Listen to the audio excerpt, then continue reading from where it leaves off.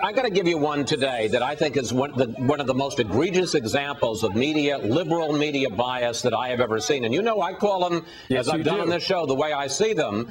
Uh, it, this has to do with the so-called uh, interrogation, the so-called torture memos that were released sure. by the Obama administration yesterday. Here's the front page of the Washington Post. I don't know if you'll be able to read it, but here the headline is, New Interrogation Details Emerge. And, you know, I think that's a pretty fair and balanced headline. New details emerge.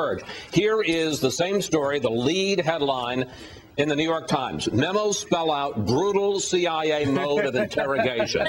right there. Brutal. Uh, Memos we report, you decide. Mm. Yeah. Very interesting it, comparison. It, you know, and, and I must say, look, there's a lot of stuff that uh, apparently we were doing to those prisoners that uh, that I certainly wouldn't want done to me. On the other hand, uh, we have to talk about the fact that these were leading Al Qaeda operatives uh, in the immediate aftermath of the slaughter of 3,000 Americans, and when you could go on the internet and watch an Al Qaeda operative slitting the throat on video uh, of an American uh, like Danny Pearl, and they're talking about brutal yeah. CIA mode of interrogation. Give me a break.